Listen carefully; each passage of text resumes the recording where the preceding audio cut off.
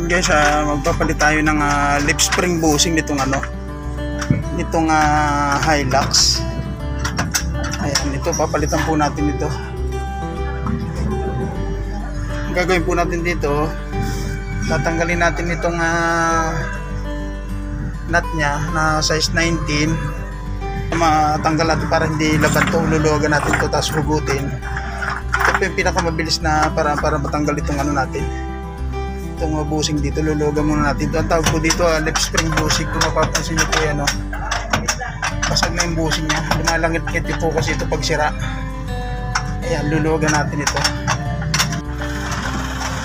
Ayan po ah, nagpapalit, nagpapalit tayo ng ano. Lip spring bushing itong uh, Hilux. Ayan. ginawa po natin dyan tinaas natin dyan. Tapos ginakan natin sa chassis niya chassis sa harap Hilux po ito.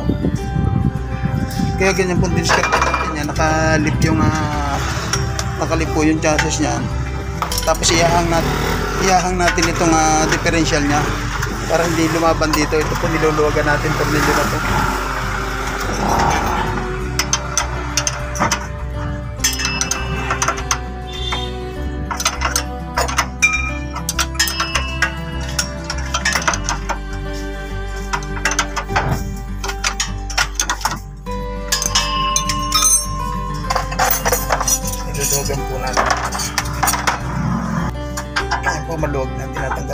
Uh, nut niya.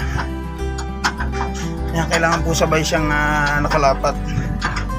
Sabay po siya para pag binaba yung jack, uunat siya, saka natin hugutin ito. Bali tatanggalin natin itong dito kabilaan.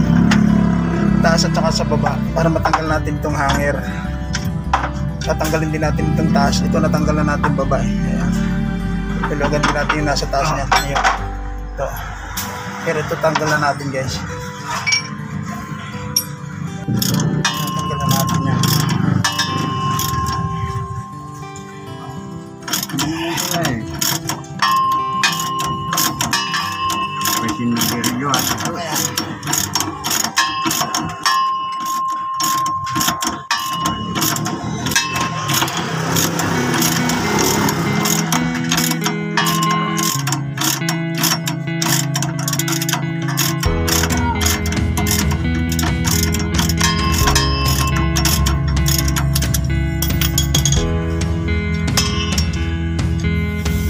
may washer po. Ayan po, ah, angat na po ito. Sisiputan natin ito. Ayan. Para lumabas siya. Ayan. Ayan. Po, diskarte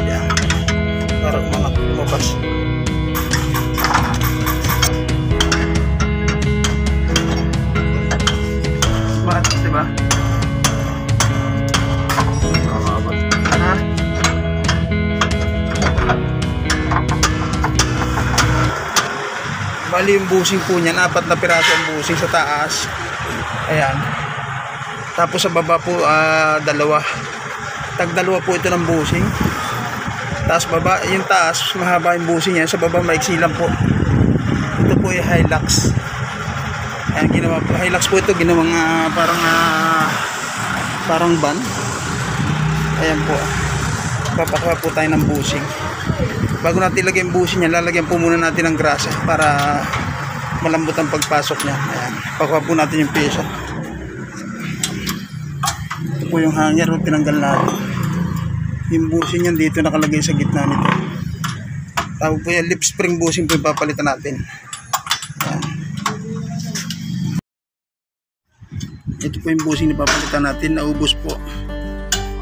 Kasi po dito kumukas kasi yung ah, bolt niya no, nakasapin sa bolt po yan kaya pag may langit-ngit na po sa likod possible po itong uh, busing na ito. Ah, lip spring base busing po itong ah, papalitan natin na to. Ayan. Ayan po, ito na po yung uh, kakabit nating bushing. Ayan. Ito na po yung bago. Ah, install na po natin doon sa loob. Ito yung bago ipapalit natin. Ayan. Ito yung luma.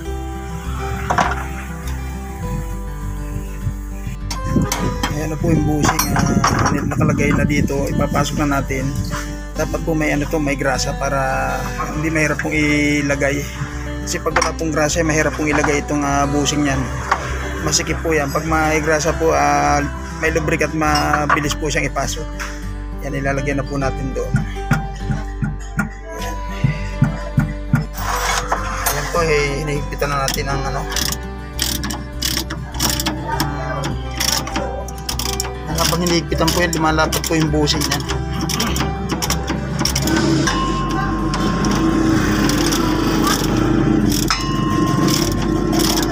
lip spring. Malapit na po tayo matapos ang ah, pagpalit ng ah, lip spring bushing nitong uh, Hilux.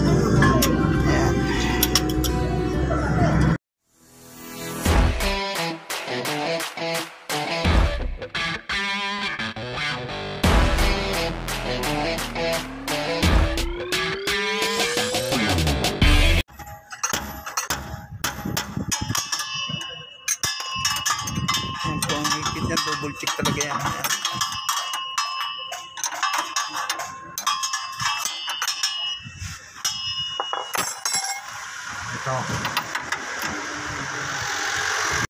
Ayan, ayan po, ah, okay na po itong ah, pinalitan natin kabilaan. Tapos na po siya. Ayan. Okay po, ah, maraming salamat po. ah, please like and subscribe. Uh, Don underscore Mecanico TV. Ayan, maraming salamat po. Magandang hapon. Bye-bye.